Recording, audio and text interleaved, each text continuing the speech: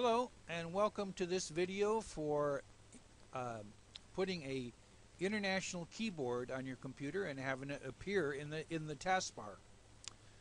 Uh, many times uh, if you're trying to write a letter in another language or an email in another language it would be nice to be able to use the symbols and accent marks that go with that language.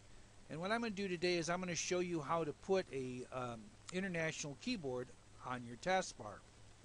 What we're going to do is we're going to use the control panel and to do that we're going to go down here to the lower left to the start menu. We're going to click that once. And then on the right hand side of what comes up here we're going to select, now it'll look different on your computer I'm sure, but you'll have a selection called control panel. And I want you to click that right now with the left mouse button. And then the control panel applet comes up. And what we want to are concerned with is right in here. It's called clock, language, and region. And especially what we want to do is change keyboards or other input methods. So we're going to click on that link right there with left mouse button one time. And this dialog comes up and you can see that there's a button on it to change keyboards. That's what we want to do. So let's click it one time with left mouse button. And you can see that we have an English United States keyboard and it shows that it's down here. So we're going to select this area. We're going to select this one time to highlight it. And then over on the right here with these buttons, we're going to click the Add button. Now, another dialog comes up with a whole list of different kinds of languages that you could put on your computer. But in our case, we want English, so we're going to go down here till we find English. Boy, there's all kinds of English. Australia, Belize, Canadian, Caribbean, well, we want United States. And if it's not open already, you can click this little icon right here, which is a, uh, if it was a, just like that, you would click that little plus sign and would open it up. And what we want is this United States International keyboard. So we're going to put a check mark in this little box here by clicking it one time with the left mouse button. And there's a check mark. And then we're going to go up here to the OK button and click it one time with the left, left mouse button. And now you can see that we have listed in our list a US keyboard and a US United States International keyboard. Oh, so that looks pretty good to us. So we're going to say apply that rather than just say OK. And I'll show you why in a second. Now we want it to appear in the taskbar, so we're going to go over here to this tab up here at the top called Language Bar. And we want to select that it's going to be docked in the taskbar, right there. Okay? And we're going to say apply that also. Now you notice down here on your taskbar when I did that, this little icon of a keyboard came up. And you see that it currently shows, if you mouse over it, it shows that it's a US keyboard. Well, we'll show you what happens with that in a little bit. Okay, now we're all done, so we're going to click the OK button here. And then once more, we're going to click the OK button here.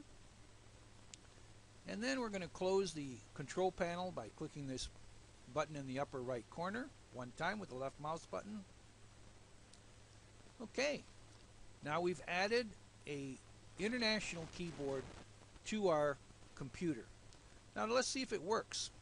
Uh, well, I'm going to bring up a one of the notepad things that I've written out and it shows you some special characters you can use with your keyboard. I'm just going to double click on this. Now right away when I brought that up you see that the icon for the keyboard is up here now. Alright now if I click on that icon with, with the left mouse button and it shows I'm using the US keyboard. Well I can change it now to the US United States International keyboard by clicking right here with the left mouse button. I'm going to click one time Okay, now I should have a international keyboard.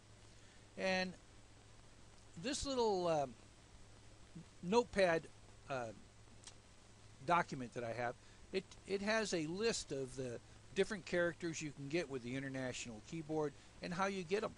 Okay. Now, what you're going to do is, it says here to create a a with an accent mark, E with an accent mark, an I with an accent, so on. You would type the single quote key and then type the desired letter. So let's see if that works. Let's go down here a couple of lines and we're going to type uh, uh, the single quote, nothing happened, and then the E. And look at there, we have an E with an accent mark over it. Let's go to another line. Uh, we try try the single quote, and we'll type an O. There again, we've added an O with an accent mark over it. Now, also in the instructions here, you'll notice that it says to create um, the N with a with a well, I call it a a, a cedilla over it. You would type the cedilla and then the N, and so you do a, a shift, um, and then a cedilla, and then an N, and there you go. You have it. So that's how you use it, and now you have an international keyboard. And if you want to switch back to the U.S. keyboard, you just go down here to this little icon, click on it, and click U.S. And now if you click this, if you uh, type a single quote key, you can see the single quote key comes up like it used to. So you can switch back and forth between the international keyboard and the U.S. standard keyboard. There you have it. You now have an international keyboard on your desktop, and you can use it anytime you want to write a letter in a different language. Thanks for watching.